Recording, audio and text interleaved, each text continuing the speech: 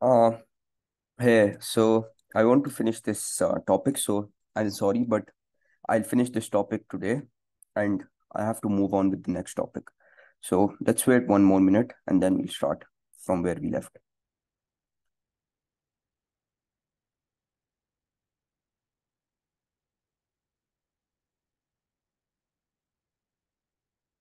Hmm.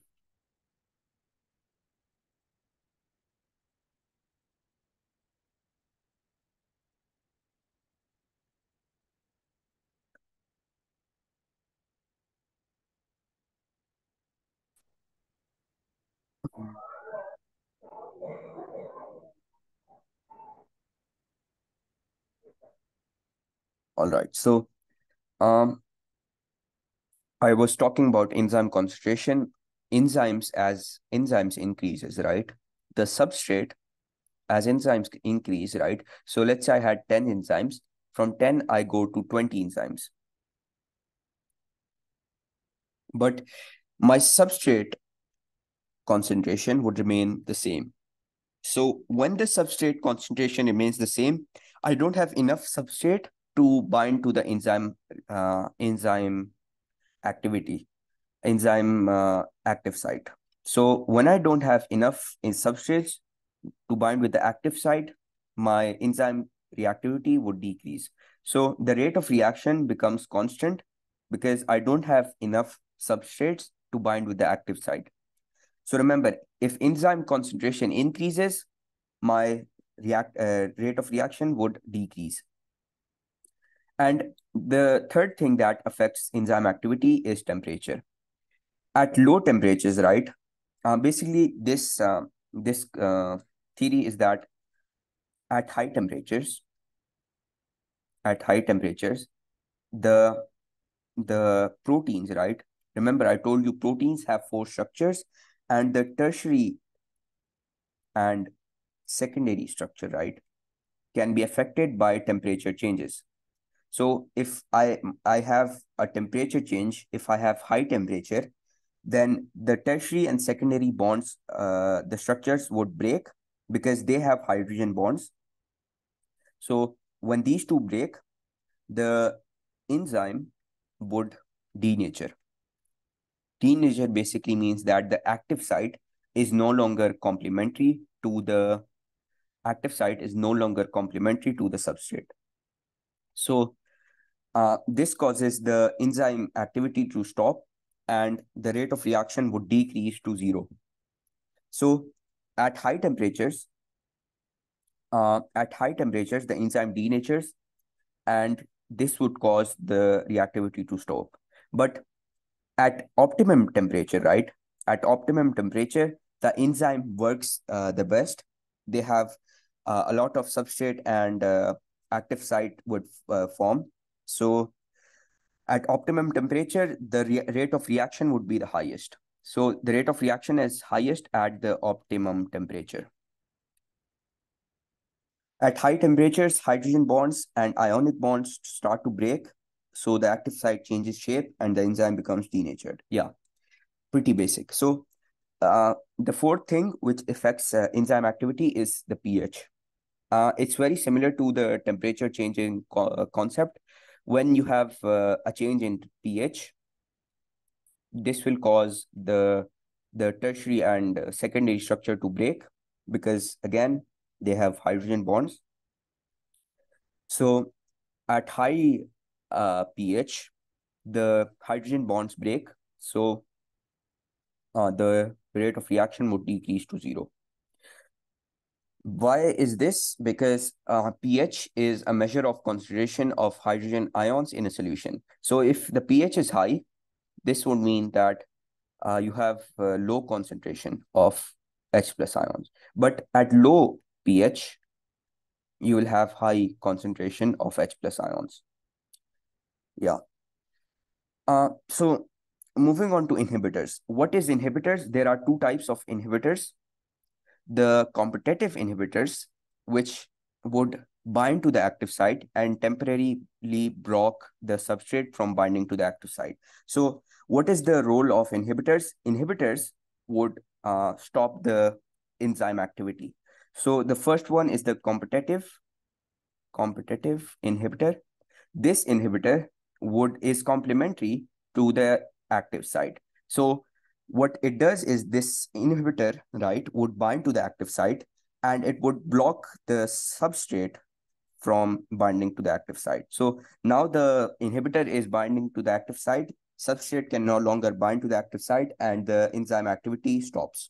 But non-competitive inhibitors bind to the part of enzyme. So they don't bind to the in act, active site. Instead, they uh, bind to the enzyme itself and they change the shape of, of the active site. And this would cause uh, this would cause permanent changes. Whereas competitive inhibitors, they cause temporary uh, change, uh, temporary inhibitors inhibition because remember that competitive inhibitors, right? They can uh, they can leave the active site so that substrate can bind, but this is not the case for non-competitive inhibitors. So non-competitive, right, inhibitors, what they do is they bind to the to the enzyme. This causes the enzyme to change shape. Now the enzyme looks something like this. So now it's no longer complementary to the to the substrate. So the substrate can no longer bind to the active site. And this change is permanent. You can't undo the change. Yeah, permanent. I wrote the wrong spelling. Ignore this. So it's permanent. Yeah. So um, increasing inhibition. Yeah. So increasing inhibitors, uh, inhibitor concentration decreases the rate of reaction. That is very obvious. Uh, so how do you uh, immobilize enzymes? Immobilizing enzyme can be done by attaching them to an insoluble inert material which forms a gel capsule around it. So if you form, if you bind the enzyme to an insoluble and inert material, this will form a gel capsule around it. So you can uh, put the enzyme in a gel capsule and so this process enables the enzyme to be reused again and again. Uh, this is used in industrial processes because it's very cheap and you don't have to make new enzymes. Uh, so this will uh, save you a lot of money. So immobilizing enzymes are done in industrial processes. Yeah. And is there is there anything else? Um, yeah. So the last thing for enzymes is the rate of reaction. And what is the rate of reaction? It's the speed of conversion of the substrate into product. So this uh, rate at which the reactants are becoming products is known as the rate of reaction. And uh, enzymes are very good at reducing the rate, uh, increasing the rate of reactions. So enzymes increase the process through which reactants become products. And so this is why enzymes are very important because they increase the conversion of reactant to products. So how do you find the rate of reaction? I, there is a, uh, you first measure the product formation. You can measure the products formed and you plot a time graph. So time and concentration graph. And then you find the gradient of the curve, and that would be your rate of reaction. So the gradient, which is rise over run, would give you the rate of reaction. So this would give you rate of reaction. Yeah. Uh, so yeah, that was uh, that was um, rate of reaction. So uh, remember that at the y-axis, you'll have the uh, dependent value. And at the x-axis, you'll have the independent value. Dependent value. So what is the dependent value here? Uh, it's the concentration. Because the concentration depends on the time. If you leave the if you leave the reaction longer, it would make more concentration of products if you if you stop the reaction very early, then the concentration of reactants, uh, the products would be very low.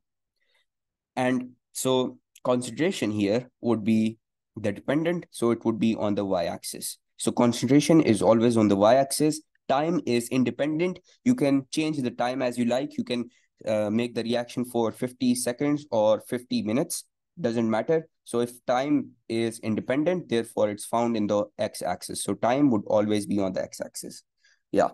And rise over run basically means that concentration over time would give you the rate of reaction. Yeah. So do I have anything else? I don't. Hmm. Yeah, so that was basically today's class. Sorry, I had to continue the class because I want to finish this topic.